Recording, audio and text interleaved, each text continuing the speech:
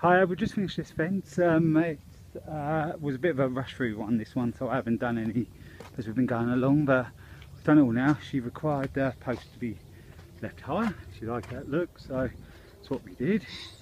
Um, sun's a bit glary today, but all we did was put the four inch posts in, four by four posts, and um, then put the cant rails along. You can probably just see them up there. See where I've screwed screw tie, screwed it on I was going to cable tie but um, it wouldn't have held nowhere near as tight. So I'm pleased with that. It's come up nice. Um, what was there in total?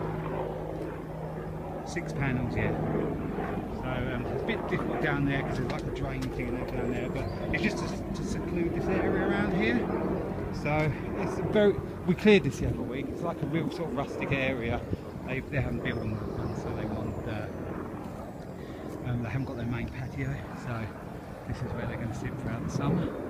But yeah, I'm pleased with that. I think, I think they look nice. First time I've put these um, hazel panels up, and I think it's quite, effective. Um, you know, they they've just they're never sort of level along the top, sort of more by working out by eye. So we had to drop it, so we sort of dropped everyone level with the top of the one before.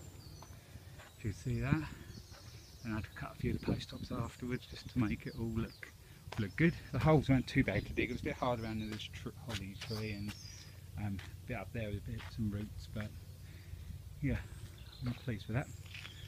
So I hope you enjoyed this little little video this fence. It was a little short one this time, but um, I'll show you some more on the other fence. We've nearly done that now, the um, post and rail one with the wire and the picket, and still got farm gate to do those. So um, we haven't quite done there yet, but this one is done. This is a regular job anyway, so just wanted to speed this one through and get it done.